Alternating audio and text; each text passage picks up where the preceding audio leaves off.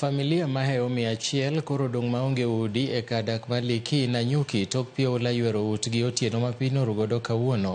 Masira ma kamano otimore nikech koth mapek manochwe e gwenge ma Mount Kenya kendo miyo aora Liki mwomo.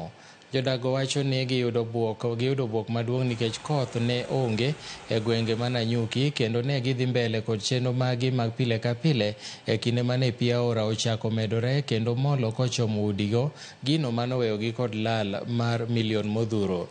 Jopith mag anguro koro ywago lal maduong' tok pi oula ywero anguro mekgi ka jomoko bende pi nodonjo e utegi to giywago kethruok mag mwandugi kod obok. MCA ma Nanyuki Ward Anthony Wambui okwayo sirikal mondo ochwal kony mapiyo ne jogo ma pi oula okelonegi midhiero.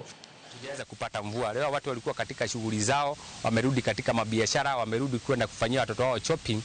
Hapa tu masaa ya jioni saa kumi na mbili hivi na nusu maji yakatoka kwa wingi kutoka kwa mlima, ikakuja kwa wingi sana, imeleta hasara kubwa zaidi. Ya familia zile tumehesabu saizi ni familia zaidi ya arobaini na sita hivi, lakini bado hatujapata namba kamili. Hadi wa sasa tuko hapa hivi tunaongea, watu wanaenda, watu tunaenda kuhesabu, tunaenda tunaendelea kuhesabu watu, tunaendelea kuokoa wale wengine. Yani maji yamekuja hapa yakanifagilia nguo zangu, zile zimeenda ni kama sita hivi, Sasa nikazidisha. Nataka niongee ukweli, yani sita zimeondoka, ambazo zinazidi elfu, kila moja ni elfu ishirini zimeondoka zote, zimeenda.